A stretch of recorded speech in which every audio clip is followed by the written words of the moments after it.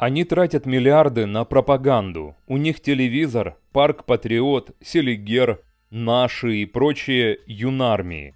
Из каждого утюга они рассказывают, как у нас хорошо, а везде плохо. Геи, бездуховность, а надежда только на Россию. Тем, кто выражает с этим несогласие, они пытаются заткнуть рот.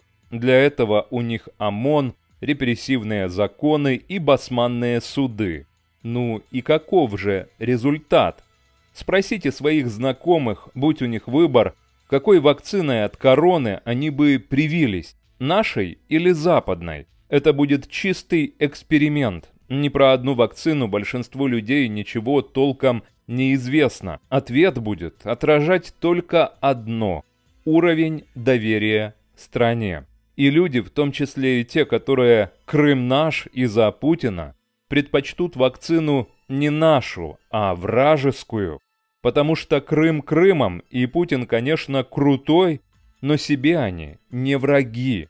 Потому что они понимают, что державный звон – это одно, а качество продукции – другое. Потому что они точно знают, что зашкаливающая духовность не позволяет обращать внимание на аккуратность закручивания гайки и соблюдение всяких скучных технических норм, потому что они на своем опыте убедились, что Toyota лучше «Жигулей», потому что компьютер и телефон, которыми они пользуются, сделаны не у нас, а где-то, потому что они не верят ни одному слову из тех, которые произносит власть, в том числе и рассказам о том, что наша вакцина лучшая в мире – Процента 2-3, думаю, наберется.